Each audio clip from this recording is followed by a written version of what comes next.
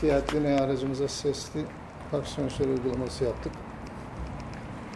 Arabanın kendi rengine boyalı gri boyalı hazır sensörlerimizden kullandık. Arabanın rengine de çok güzel uyumlu oldu. Sesli park sensör uygulamamız oldu bu.